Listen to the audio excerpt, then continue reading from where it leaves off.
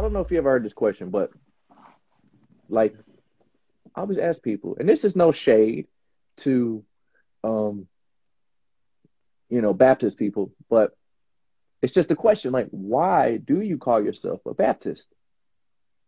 Because when they ask us, why do you call yourself a Pentecostal? Why do you call yourself apostolic? Some of us may not know the answer, but I'm just curious to know is there an answer when it comes to why are you a Baptist?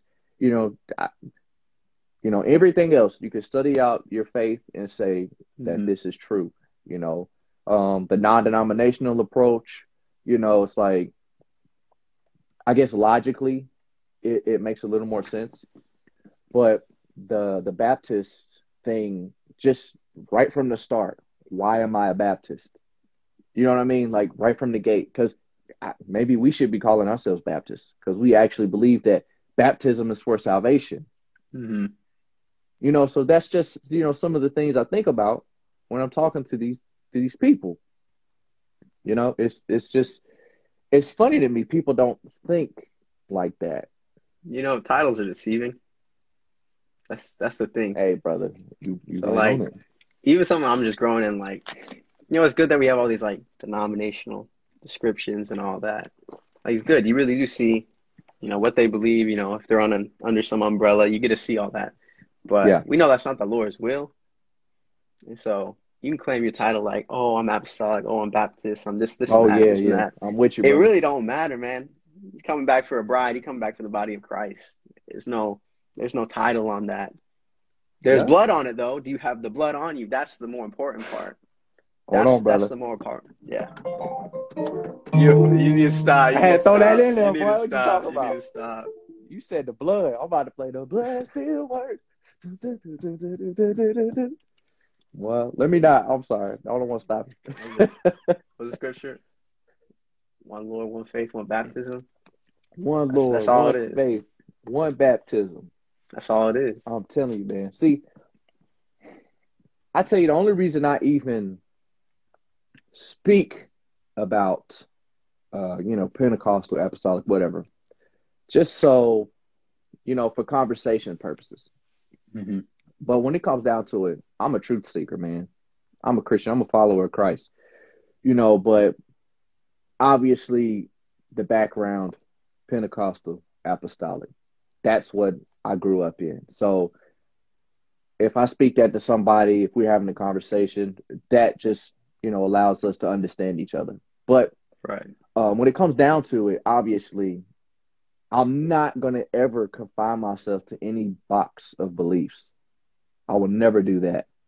And I think that's really the the whole point is when you put yourself in that Pentecostal or apostolic box or Baptist box or Jehovah's Witness box, you know, whatever box you put yourself in, you're limiting yourself to all the other truth that is outside of that box. Like, what if your church isn't even following, you know, what the apostolics, what the apostolic, what the apostles did? Mm-hmm. You know, so I just say, obviously, you know, um, I don't know if you know like why people call themselves Pentecostal. If you ever like thought about that. Yeah, yeah so because they associate with the experience of Pentecost, same thing. That's, exactly, exactly. Yeah. So, and that's when the the three thousand souls were added to the church. But obviously, it's not about like you said it's not about the title you know like it's about it's like it's not necessarily the like when you say you get baptized in the name of jesus you're getting baptized in the blood that's why when you speak spanish you might get baptized in the name of jesus you know what i'm saying it's it's technically different words but it's the same meaning you see mm-hmm. and that's how i look at those um the the meanings of what you associate yourself with. So I'm thinking we're on the same page, you know. From what you're saying, it sounds like we're on the same page. Yeah, it's just, it's just important. Like you say, we don't confine ourselves. There's truth even outside your church because I don't think any church is perfect. I think that is that's just how it is. We're literally flesh We Right. have people like we're flesh trying to serve the Lord. That's what it is. The fact that the Lord even takes pleasure in flesh serving Him.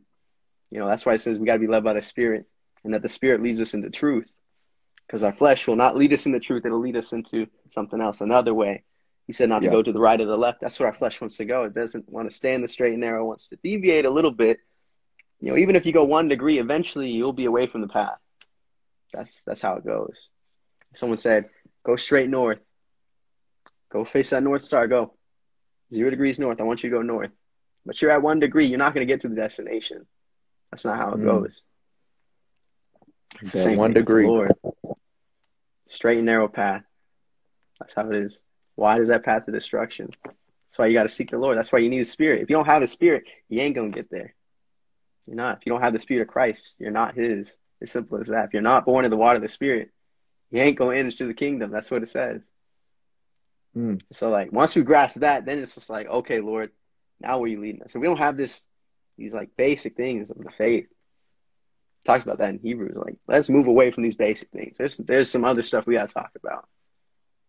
But we ain't there yet. I think as believers, that's something that we struggle with, man. Yeah, why I we say believers We as on a the milk. whole too.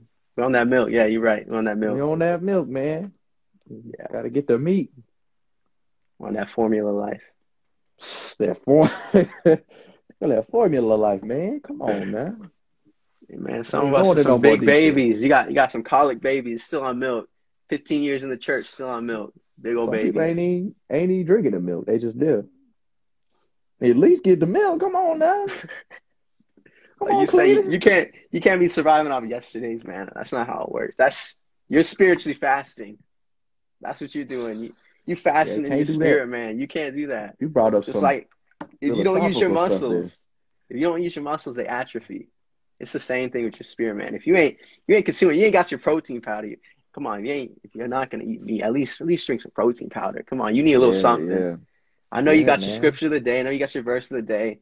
You need a little bit more than that. I ain't, I'm not judging you for having your one scripture, but like you got to be meditating on that thing. It says meditate on His word. So if you read that one scripture, oh God is love. You better understand. Oh God is love. God's love the world. He gave His only begotten Son. Oh, you got to go more in that scripture.